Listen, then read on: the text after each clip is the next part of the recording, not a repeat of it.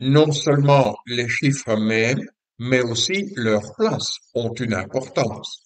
Par exemple, ce chiffre 2 signifie en fait 200.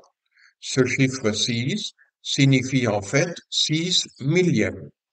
Le plus simple, c'est de placer ce nombre dans ce tableau en respectant bien la place du chiffre d'unité.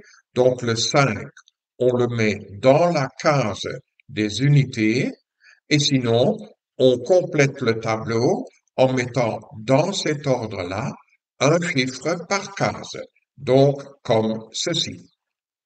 La partie à gauche de la virgule s'appelle partie entière du nombre et la partie à droite de la virgule s'appelle la partie décimale du nombre.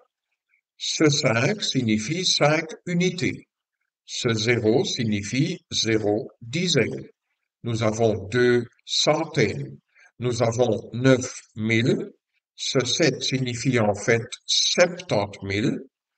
Ce 1 signifie 100 000 et ce 8 signifie 8 millions. Ensuite, ce 1-là signifie 1 dixième, ce 2 signifie 2 centièmes, ce 6, c'est le chiffre des millièmes, etc. Passons ce nombre-là dans le tableau. Voilà, le 1 est bien mis dans la case des unités, ainsi la virgule est à sa place et tous les autres chiffres aussi. Ce nombre-là, idem. Ce nombre-là n'a pas de partie décimale.